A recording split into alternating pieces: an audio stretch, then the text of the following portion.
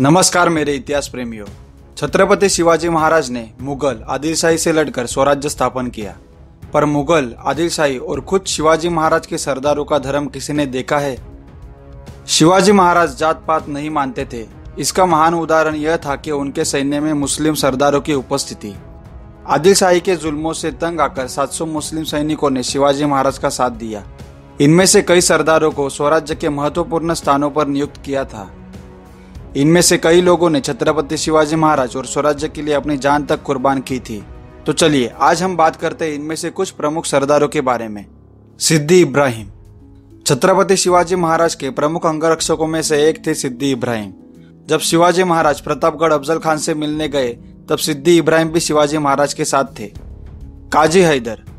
छत्रपति शिवाजी महाराज के वकील काजी हैदर थे, जो आगे चलकर शिवाजी महाराज के निजी सचिव बने। नूर खान बेग। छत्रपति शिवाजी महाराज ने नूरखान बेग को स्वराज्य का सरनोबत बनाया था। स्वराज्य के अष्टप्रधान मंडल में से एक पद है सरनोबत। सिद्धि हिलाल सिद्धि हिलाल घोड़दल के सेनापति थे। मराठा सेना में शामिल सिद्धि हिलाल ने सरदार प्रतापराव गुजर और छह अन्य सरदारों के साथ मुगल सेना पर हमला किया था। इतिहासकार बताते हैं कि बहलोल खान नामक सरदार को ज़िंदा पकड़ने के प्रयास में वह मारे गए। सिद्धि वाहवा सिद्धि वाहवा यह सिद्धि हिलाल के बेटे थे। जो सिद्धि हिलाल की मृत्यु के बाद मराठा सेना में शामिल हुए और घोड़दल के सरदार बने। वाहवाहा ने आदिल शाह के सेना के खिलाफ लड़ाई लड़ी थी और गंभीर रूप से घायल हुए थे। इब्राहिम खान। इब्राहिम खान स्वराज्य के तोफखाना विभाग के प्रमुख थे। इन्होंने कई युद्धों में मराठा सेना का नेतृत्व किया। दरिया सारंग। समुद्री मार्ग से होने वाले विदेशी आक्रमण को रोकने के लिए शिवाजी महाराज ने सशक्त नौसेना बनाई और इसका प्रमुख मुगल सरदार दरिया सारंग को नियुक्त किया।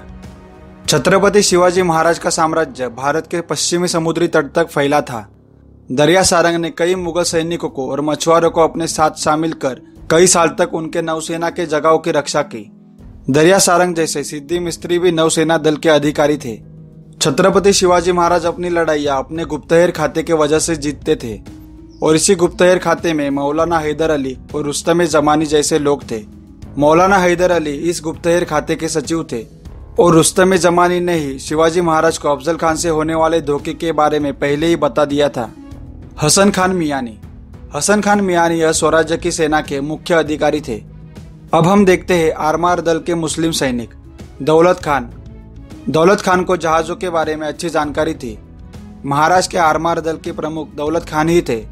दाऊद खान इस आरमार के सूबेदार थे। और सुल्तान खान और शामाद खान आरमार के अधिकारी। मदारी मेहतर। मदारी मेहतर शिवाजी महाराज के विश्वासु सेवकों में से एक थे। शिवाजी महाराज जब औरंगज़ेब से मिलने आगरा गए थे, तब मदारी मेहतर उनके साथ थे। महाराज को आगरा से और औरंगज़ेब की नज़र कैद से छुड़ाने में मदारी मेहतर का बड़ा योगदान था।